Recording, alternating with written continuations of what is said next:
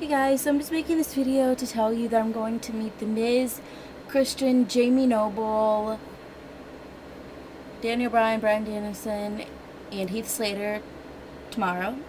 So I'm just going to show you what I'm going to get them to sign. He, they're going to have a Heath Slater bobblehead there, a free one. So I'm just going to get Heath to sign that, and I'm going to get him to sign the this FCW wrestling book. Um, Bryan Danielson's not in here because I don't think he really worked for them. But um, I'm just gonna get Heath sign right there and send the bobblehead. It's just gonna be just like the um, Justin one, just Heath. And then I'm gonna get Miz and Christian to sign this. It's one of the WWE programs. I was gonna have Miz sign a hat, um, like the hats he used to wear the fedoras, because I have one, but it's black and I don't have a silver marker. And I always go to Walmart and I can still never find like a silver sharpie or anything. So I'm just not even gonna bother with that. He can just sign this, I guess. I like this picture, anyways. Yeah, so. Um. And I'm pretty sure Christian's in here. Yeah, he is. Mr. Kennedy's in here. Anyways. Because you can sign there. Okay, um... I don't know what Bryan Danielson's gonna sign. I really don't even care. I mean, I want an autograph just because he is a good wrestler and he is popular. Sorry, guys, in the Indies. Um, but I'm not a huge fan of him. I don't know. I don't really like his character. I don't really like his charisma. I guess you could say. I'm not denying that he's a good wrestler because he really is a great wrestler. But like I said, I'm just not a fan of him. It's just one of those things, I guess.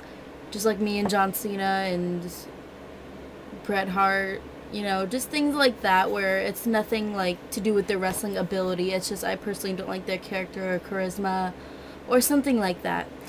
Um, I don't know what he's gonna sign. If they have papers, I guess he can sign that or whatever. Same thing with Jamie Noble. I don't even know if I mentioned him, but yeah, Jamie Noble. I don't know what he's gonna sign unless he's in here.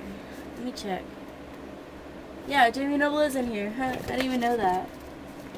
I just thought about it. But yeah.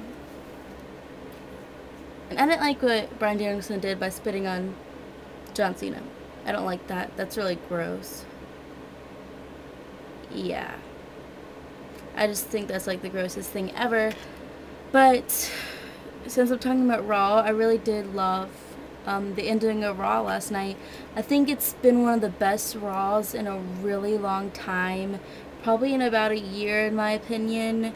Um, it just really made you think what was going on, why were they doing this, why is no one helping um, CM Punk, John Cena, the announcers, and everything like that, and the commentators. Like, why is no one helping them from the back?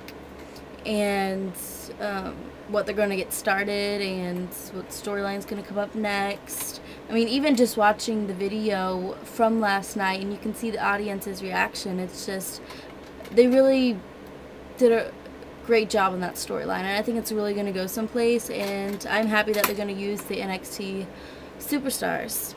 Or rookies, I should say, I guess. But yeah, I just wanted to let you guys know that. I will try to make a vlog tomorrow if I can. Um, and then I will, of course, tell you how it went afterwards, show you what I got signed, show you pictures.